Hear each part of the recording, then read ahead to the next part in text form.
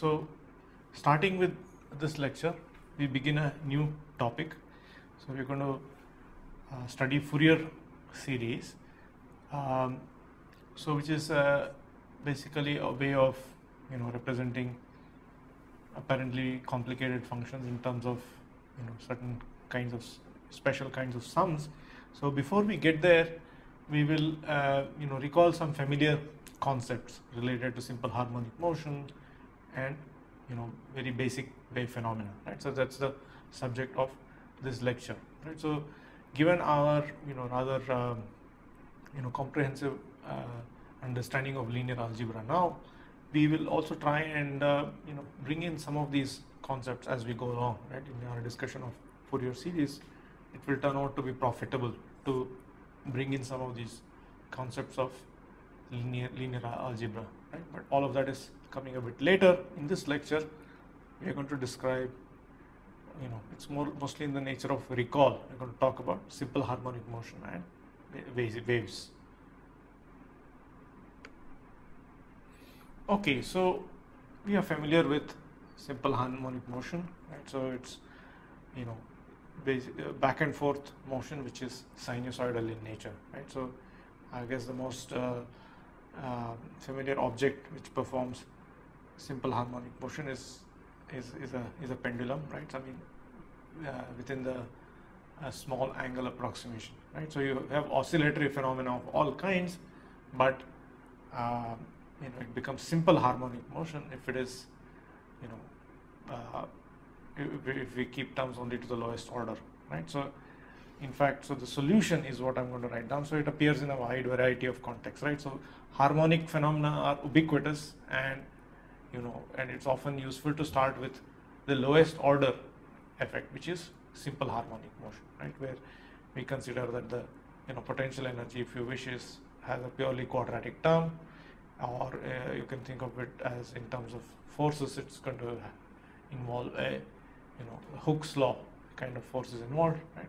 All very familiar uh, stuff right? And so the reason why you know simple harmonic motion is particularly important is because you know all you know functions with a local minimum right? So you know the the simplest kind of minimum will involve a quadratic type of function right? And and therefore simple harmonic motion is it's very important to study because is as simple as it gets. Of course you can look at you know more complicated scenarios where higher order effects are present sometimes the, the, the lowest order is not even present and so on but for our purposes we'll start with you know simple harmonic motion. And here we will directly look at the solution itself right? I mean the differential equation aspect of this will come later right? So that's also part of our study right? We're going to study differential equations. But for now let's say we know intuitively or from our earlier studies that the solution for a simple harmonic motion is just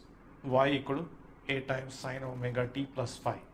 Right? So there is this phase factor there is a there is a natural frequency associated with this motion and therefore there is a time period which one can equi- equivalently define and there is an amplitude of this motion right? All of these are properties. So we'll just since we are all familiar with this we'll directly you know look at a couple of examples and identify these various quantities associated with simple harmonic so so given you know uh, uh, the distance of some particle and if you know s as a function of time let's say you're measuring s from the origin and if it is given to be s is equal to 3 times cosine of 5t right? So it doesn't matter whether it's cosine or sine right? I mean this is a comprehensive way of thinking about this because you have this phase right? So this phase allows you to treat cosines or sines it doesn't matter. I mean there's a way to bring it back to this form. If you if you think of this as a standard form of course it's possible to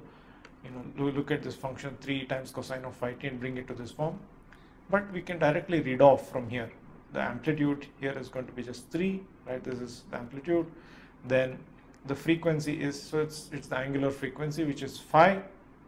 And therefore the time period of this motion is 2 pi by omega which is 2 pi by phi you can also work out the velocity amplitude for this particle right? You take the time derivative ds by dt which will give you you know a minus 3 times phi you know, in, in general, it's going to give you, if you take a derivative of sine, it's going to bring out this omega and this is going to become cosine, right? And uh, so the phase is going to be, you know, phi, there is going to be a shift in the phase, but it doesn't matter so much because we're looking at, if you're interested in the amplitude.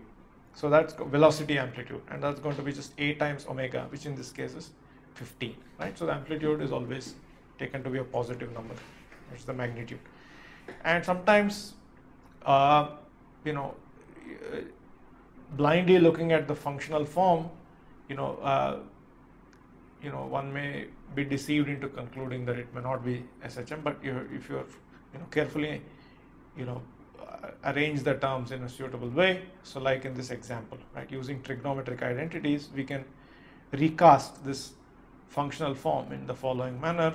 And in fact, we'll be able to check that this is 6 by root 2 times sine of 2t right so it looks like there are two terms but in fact actually this is just you can pull out the 3 and then add these right so you use the identity sine of c plus d plus sine of c minus d and carefully collect terms you will get only a simple harmonic motion whose amplitude is 3 times root 2 and whose uh, uh, velocity amplitude you can compute to be 6 times root 2 and whose frequency is omega equal to 2 time period is pi right? So this is all familiar stuff which is um, you know from high school we have been looking at these kinds of phenomena okay so we are also familiar with a moving wave right? In 1d if you take a snapshot of a wave at some time it may look something like this. It's a sinusoidal curve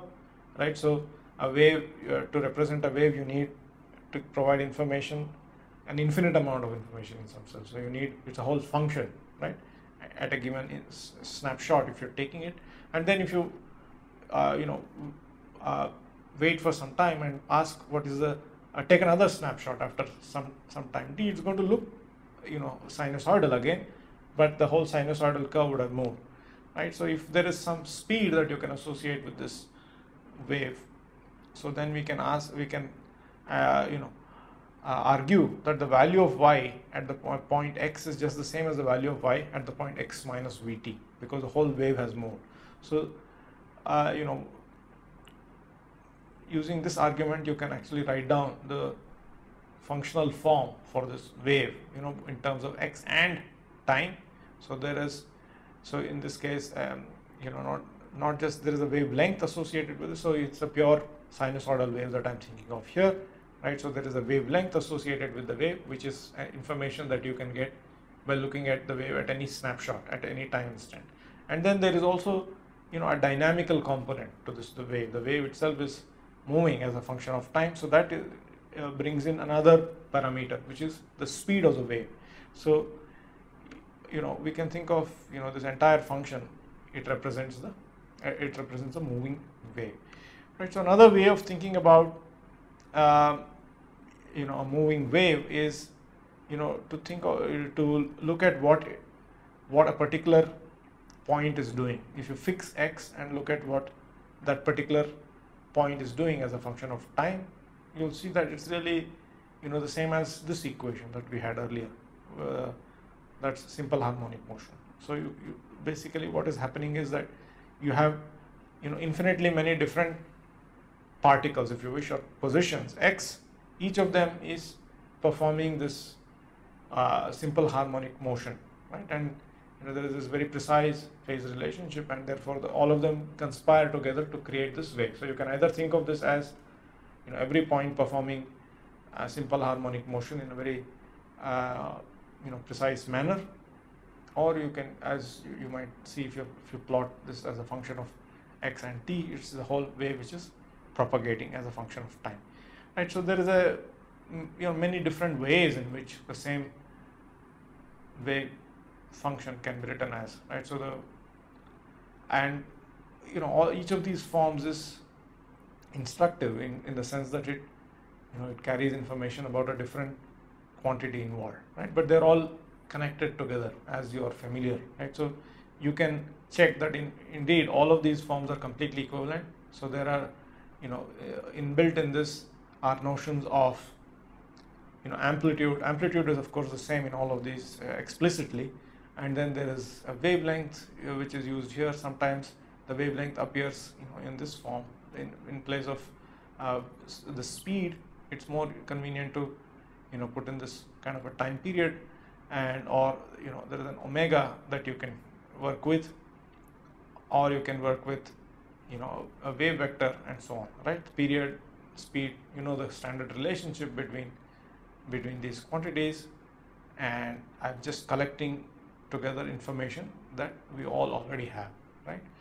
So this is like a warm-up lecture to Fourier series right? So we'll describe uh, you know uh, in a step-by-step manner you know the context for coming up with a Fourier series and then we will see how to you know, get get a Fourier series for a periodic function and so on right? That's all for this lecture. Thank you